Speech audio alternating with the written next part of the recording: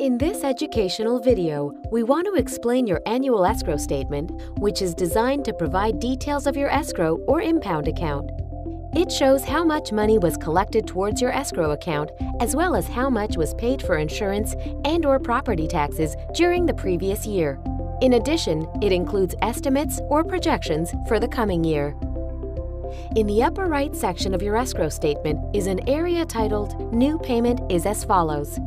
In addition to the monthly principal and interest payment amount, you'll see the new required monthly escrow payment amount, whether there's a shortage or a surplus in your escrow account, the new total monthly payment amount, and the effective date of the new monthly payment.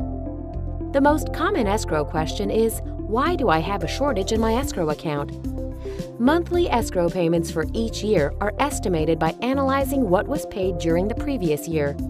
A shortage happens when increases in your taxes and or insurance premiums occur, such that your monthly escrow payment is too low to maintain the minimum required balance in your escrow account. The minimum required balance will be explained in more detail later in this video. Let's look at a statement that explains the activity in an escrow account and why a shortage can occur. In the section titled Escrow Account Projection for the Coming Year, we explain why we maintain a required reserve, also known as a cushion, of up to two months or one-sixth of your annual escrow disbursements to cover tax and or insurance payments made from your escrow account.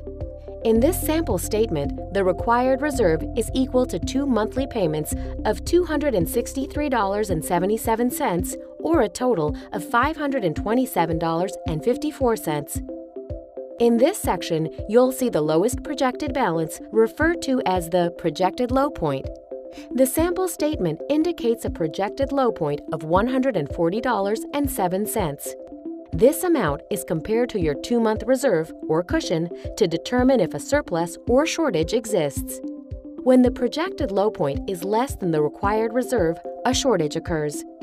In our example, the required reserve of $527.54 is compared to the projected low point of $140.07, resulting in a shortage of $387.47. We make covering this shortage easy for our borrowers by dividing the shortage amount across at least 12 months. This monthly amount is referred to as the shortage spread and is shown in the New Payment is as follows section at the top of your statement. In our example, the shortage of $387.47 is divided by 12 months, resulting in an increase of $32.29 to your monthly payment. This amount is the shortage spread. Although spreading the shortage may be preferred for some borrowers, you can also choose to pay the shortage in full. At the bottom of the statement is an escrow shortage remittance form, which you could use to pay the shortage in full. By doing this, the total payment amount indicated at the top of the statement would be lowered and a new payment amount would result.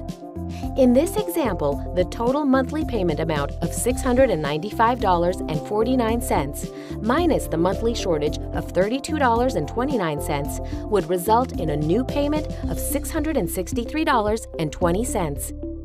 Please keep in mind that paying your shortage amount in full will reduce your new monthly required escrow payment amount, but it will not lower the actual amount of your taxes and or insurance premiums.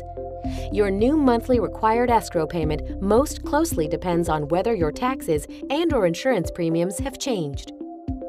In the section titled Annual Escrow Account Disclosure Statement, Account History, you can see the projected and actual deposits into your account estimated and actual disbursements from your account, and the running balance through the year.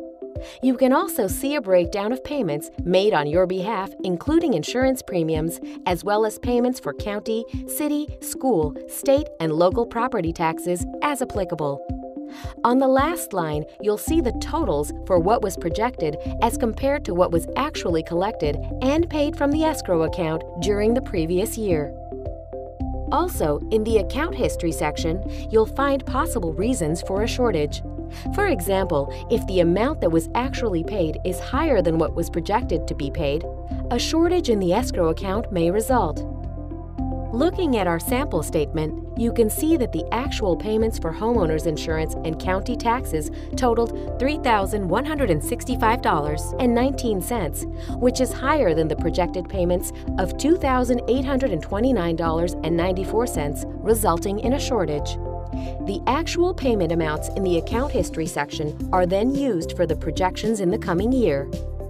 We understand it can be frustrating to see a shortage after regularly paying into your escrow account each month. Remember, we do not determine the amount of your taxes and or insurance premiums.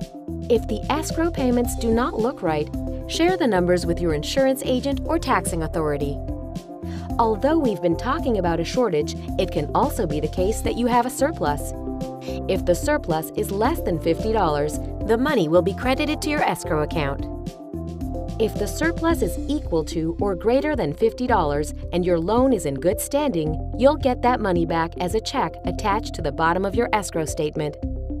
We want your mortgage to be easy to manage. We hope this video helped explain how to read your annual escrow statement. Thank you for being a valued customer.